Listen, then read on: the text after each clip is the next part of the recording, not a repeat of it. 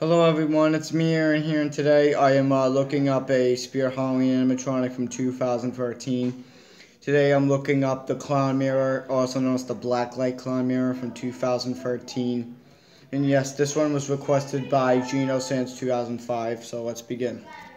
So, um, this guy is pretty cool. I did see him at a lot of them in 2013. He was in the clown train in one of the train side, one of the sides. He was on the right side.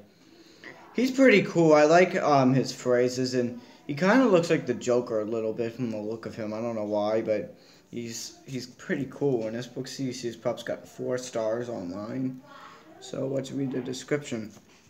Who's the scariest of them all? The scary mirror tops each and every one. Activated by sound and light sensors, this decoration speaks several creepy phrases, moves and lights up. Hang it on a wall and listen for the screams of approval. And here's its uh, video, which is probably very small, unless if you can see it. So it's right, it's right down there.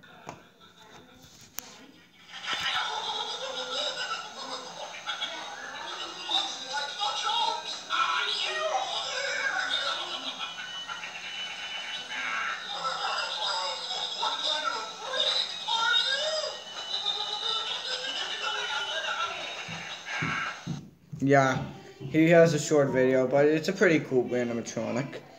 Um, let me see. I think I also saw him on Spencer's website too. I'm not totally sure.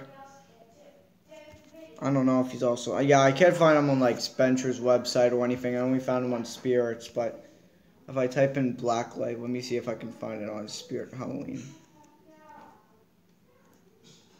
It was just Clown Mirror and um. They kind of recommended me some other mirrors, and um, let's see if I can find. Oh, here it is, right here. I also found it on Spencer's. Here it is. Here's the notes. So here it is on Spencer's website. Um, uh, it's basically it's basically like the same thing that um. Sorry about that, but like I said, And I'm sorry about that, guys. Um, but here he is right here, like I said, this is a picture of his mirror without his face on it, and here's what a picture looks like without the white. I guess it looks similar. I don't know how you can really, like, call that, but anyway, though, that is a pretty cool prop, and anyway, though, that's all I gotta say for this vid, I'll see you all later. Bye.